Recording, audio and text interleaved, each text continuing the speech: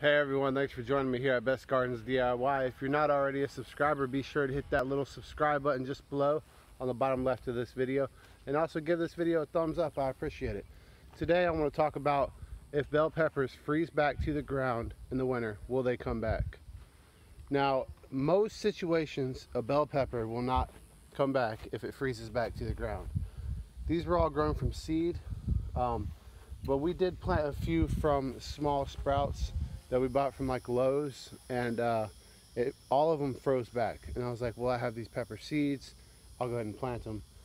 And one of the bell peppers that froze back to the ground, and I'll show you it right here. It's the most mature, the one with the biggest bell pepper there, did. And this is the stem right here that actually froze back to the ground. And uh, it sprouted from the roots down there you can see the dead stem where it froze back to and then it resprouted. And I didn't think that would happen but in a very rare instance it can happen. So it's not worth putting all your money on or all your you know eggs in one basket. On counting on them coming back but in some rare instances bell peppers can come back after freezing. And you can see that the one that came back after freezing has the most mature bell pepper on it than the seeds do.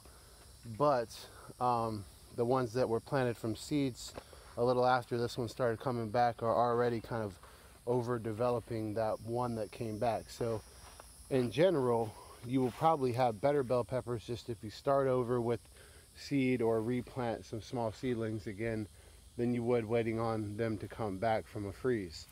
So sometimes I know gardeners like to get the head start on um, getting their plants in the ground and you run that risk of a frost coming in afterwards.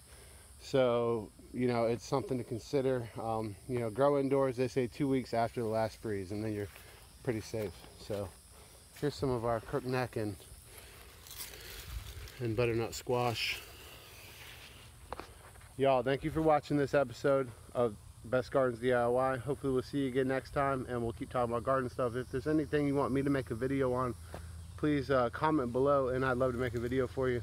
Y'all have a great rest of your day.